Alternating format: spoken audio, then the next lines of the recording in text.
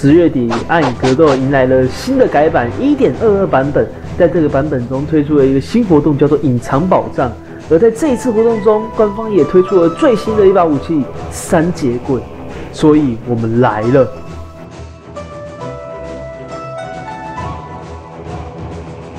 首先来说说我对三节棍的看法，我认为它是这个版本数一数二强的黄桃武器。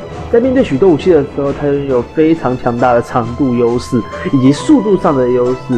但是相对来讲，它在攻击上面，如果你太过不小心的话，就会容易露出许多破绽，给对手机会。那整体来说，如果你相当熟练的话，它的强度绝对有 T 零的水准。那我们就马上来一窥三节棍的全貌吧。我真的觉得黄超有些武器的开场动作像在做瑜伽一样，而且还会因为这些动作出现 bug，真的有够诡异的。那我们来看到招式组合，首先是连续攻击，共分四阶，攻击数分别是一、一、一、一。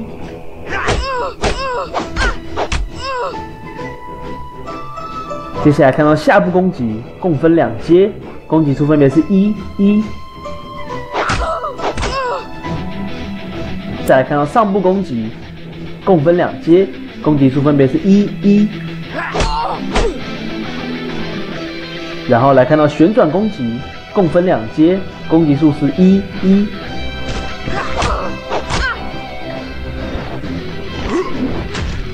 最后来看到重击，共一阶，攻击数为二。那招式组都看完之后，我们来看到暗影技能旋风。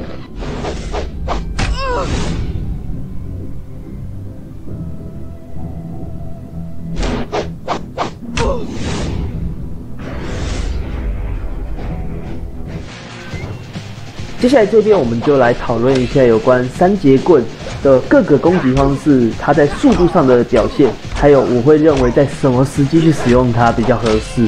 首先，正拳、上拳、后拳、重拳这四个攻击方式可以说是动作上比较快的，那下拳的动作应该算是相当慢。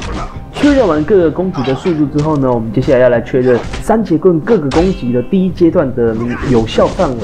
首先是正拳，它的攻击范围会在玩家的前方的短距离。此外是腹部位置，也就是头部跟脚部，基本上是不会被涵盖到的。那上拳跟重拳的涵盖范围都是前方的一整面，是非常广泛的一个范围，而且距离其实都不算短，对，算是中等到长距离之间。那后拳则是攻击在我们玩家前方脚部位 非常近距离的位置。最后面下拳呢是玩家前方脚部位，哎，非常长距离的一个攻击。那确认完攻击距离跟攻击速度之后呢，我们最后面来确认三节棍各个攻击的途径能力。那跟刚刚确认攻击范围一样，是以各个攻击的一阶段来做标准。首先正拳它的推进能力是低的，而且在攻击完之后其实是会往后退的，所以你可以说它是负的也没关系。然后上拳跟重拳是基本上原地不动。那后拳呢，跟正拳一样是往后退的，最后面下拳则是往前推进非常多的。那现在我们有了前面三个要素的资讯之后呢，我们就可以来做总结，各个攻击他们在什么时候会被需要。上拳跟重拳在抢速度方面会有非常棒的一个表现，可是，在将对手推开之余呢，是没有追上去的这个动作，所以可能在一段攻击之后呢，你可以出现，哎，下一次攻击命中不到对手的一个窘境。那后拳则是用在你确定对手要对你做进犯的时候，可以做一个反手一波。哎，那在角落的时候也可以有相当不错的表现。下拳呢，虽然它途径很强，但是因为它的出招速度相对也比较慢，所以如果你单纯用这一招来想当成一个稳定的一个输出手法，可能就会吃瘪。所以下拳对我来讲比较像是对对手的一个远程武器的一个 punishment。当然，结合它途径强跟手长这两点，你也可以得出倒地追击使用下拳是一个不错的选择这个结论。那最后面正拳到底能干什么呢？其实我真的不知道正拳能干什么，我只有在完全不知道要做什么事情的时候才会使用正拳，就可能呃觉得画面太单调的时候，哎，多找一点不同的攻击方式之类的。那接下来我们来讨论有关这个三节棍的主要输出手段。我相信各位有玩过三节棍，应该都注意到了，三节棍的重拳的伤害相对来说是高于其他攻击方式的。那此外呢，重拳的两下，哎，其实都有很高的几率朝头部去招呼。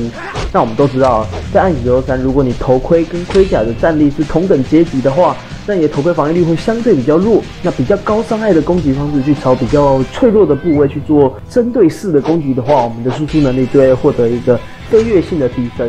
所以我会建议各位在攻击的时候，尽可能的去找到机会使用重拳，不论你要透过背刺去触发，还是麒麟无法格挡之类的，都可以。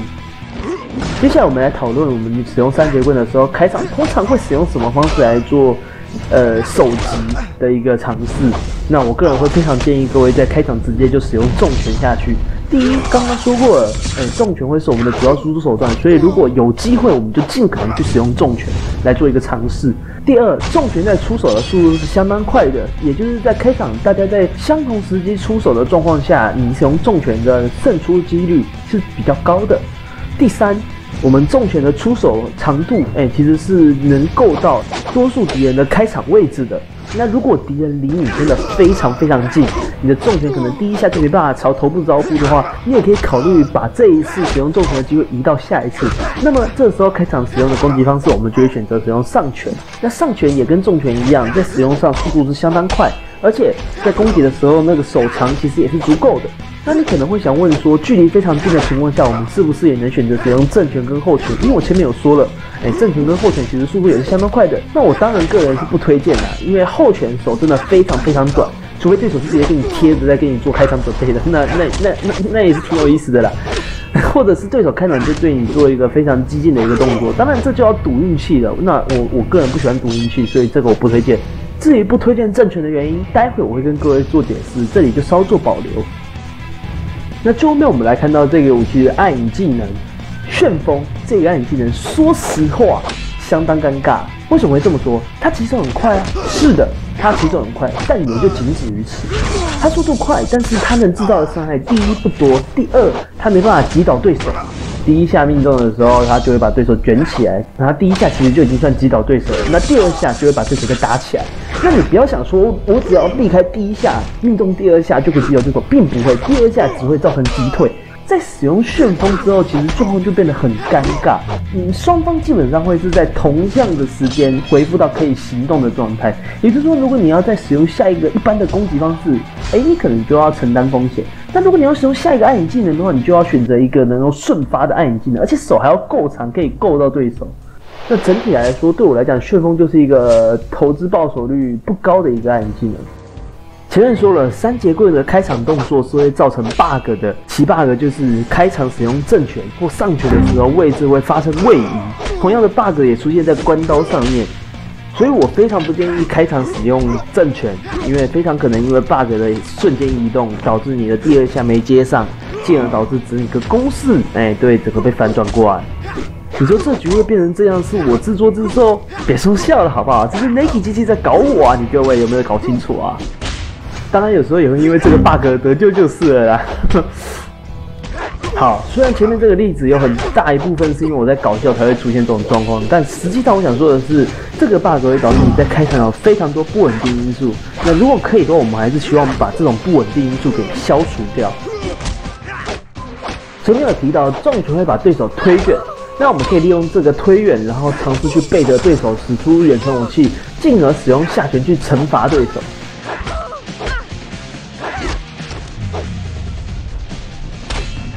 主输出方式是使用重拳，所以我们会想要找到稳定可以触发重拳的方式。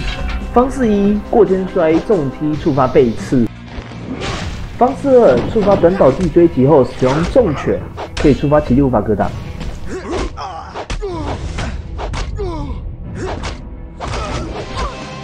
下拳是三节棍安全的角落神器。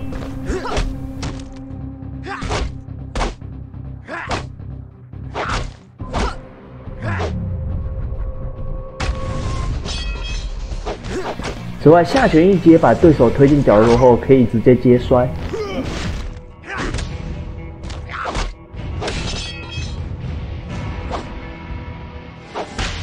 旋风把敌人推进角落后，可以直接接摔。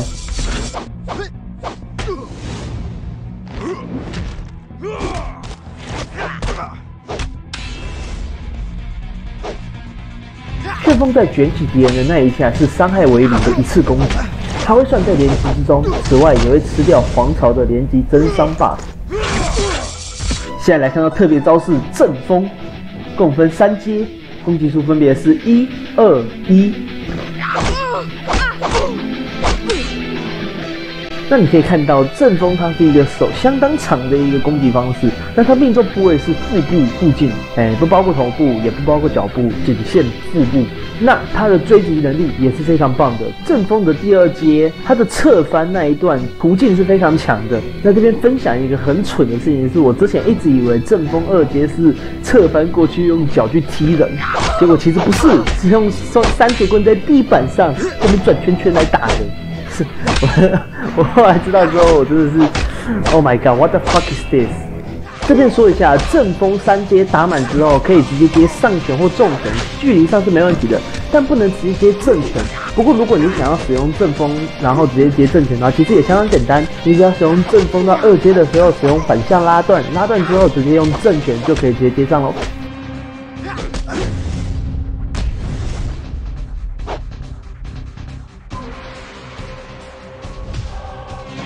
那总的来说，我认为三节棍是一个非常强的一把武器哦。它跟七点二章推出的复合扩建一样，许多的攻击招式在使用上面是完全没有压力的。在攻击上面，就算被格挡了，基本上也都不会被摔。那就算有人想利用格挡之后来惩罚你，有时候反而还会因为它超级短的后摇反被惩罚。不管是复合扩建也好，三节棍也好，最近出的这几把皇朝武器，真的强度都是数一数二的。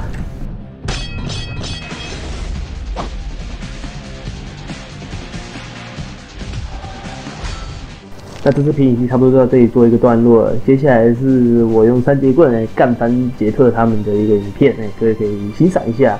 那我们下一期皮影戏再见，拜拜。